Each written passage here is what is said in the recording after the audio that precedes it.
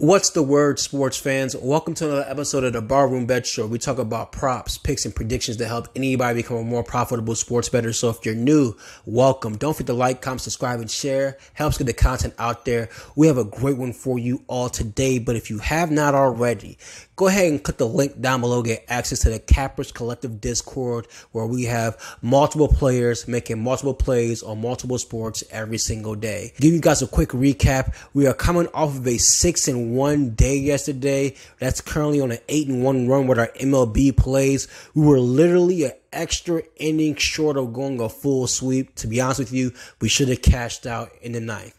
But man, Shohei Ohtani, this dude hands down is the best player in baseball. Like I don't remember, I'm not a big baseball guy, but I don't recall anyone being so dominant as a batter and a pitcher. This guy currently leads his team in strikeouts, wins, ERAs, RBIs, home runs, and batting averages. And he is our play of the day because what we're looking at right now is Ohtani for over one and a half hits, runs, and RBIs. The reason being, he's knocked it out five straight games in a row pure and simple. And like we mentioned, we feel like he's the best player in baseball, and he's showing us exactly that. So hopefully, this added some value. We thank you all for tapping in, and we'll hot you all next time.